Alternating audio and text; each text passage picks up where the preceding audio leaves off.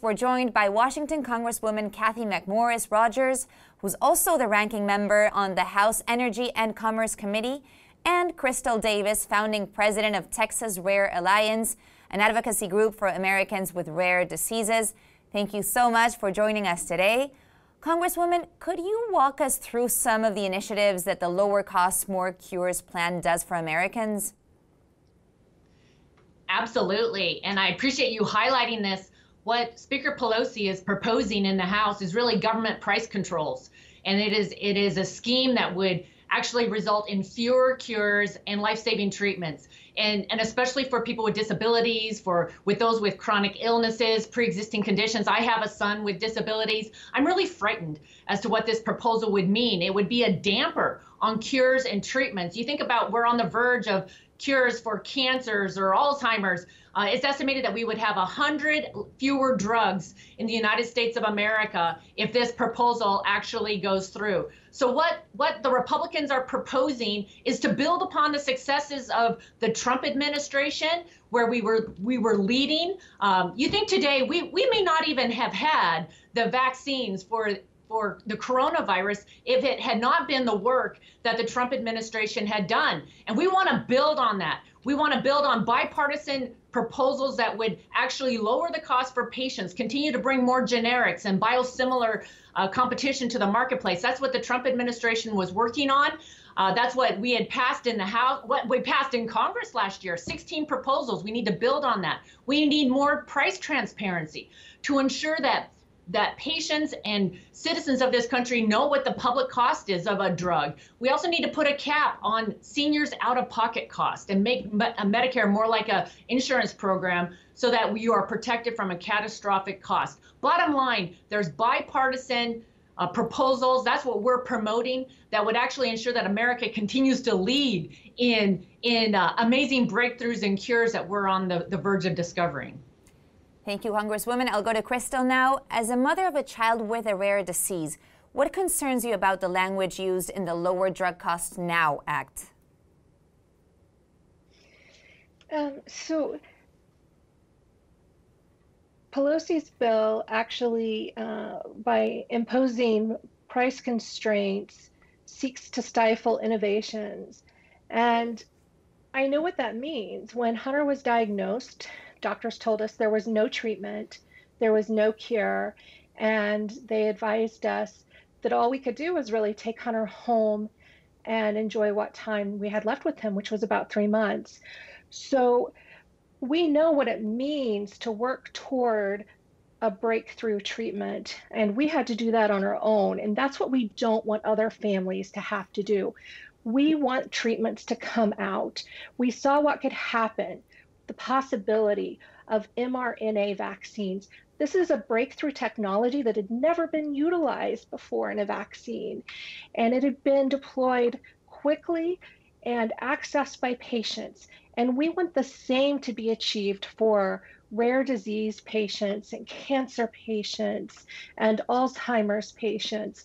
All of these diseases with unmet needs. These patients need treatments. We can't allow policies to get in the way of these treatments. We need to continue the research. And the, the other thing, when we import these policies, when we import the prices from the other countries, they incorporate QALYs in developing the prices. And the QALYs are arbitrary and discriminatory in devaluing the lives of the chronically ill, disabled, and elderly, and discounting their lives to lower the cost of the treatments that they use. And our country has had a great history of respecting the lives of all individuals, and we cannot afford to discount the lives of anyone because they're medically fragile, disabled, or elderly.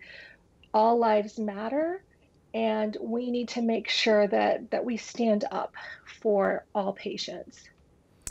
Thank you. And Congresswoman, you are also, as you mentioned, the mother of a child with a disability. How does that experience guide you in crafting legislation like this one? Well, I, I can tell you as a mom, Uh, having a, a, a, son with a disability uh, only makes me more passionate about the importance of American leadership in curing diseases and new treatments that are going to improve our quality of life. Unfortunately, Speaker Pelosi is, is following the lead of countries like Canada and the UK that assign a lower value to lives. Uh, and what that means is that you wait.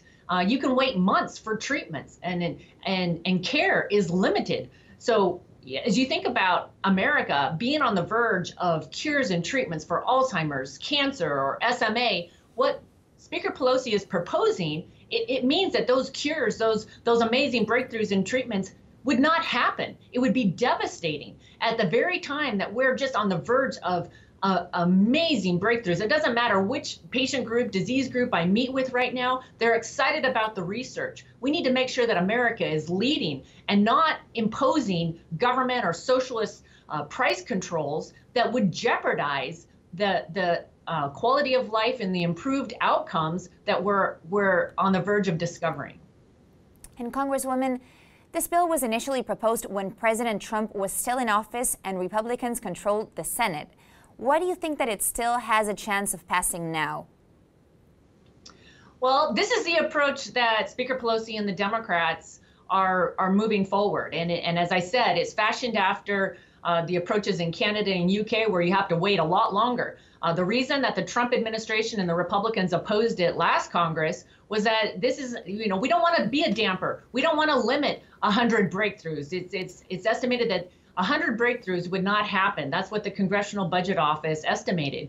And, and what we need to focus on are those very policies that are actually going to help bring down the cost, empower patients, and make sure that we lead in curing cancer and Alzheimer's and SMA. So that's where the Republicans are going to focus. We're going to we're continue to build. We did pass last Congress bipartisan provisions, 16 bipartisan provisions that would help bring down the cost. In fact, prescription drug costs had started coming down. That's what we need to build on, but not do it in a way that is going to limit cures and breakthroughs. Uh, this is important to um, so many lives, millions of Americans. We've led in 21st century cures. It's a, it's it's foundational to us leading and having a vaccine, several vaccines actually, to to uh, help people protect them from COVID-19.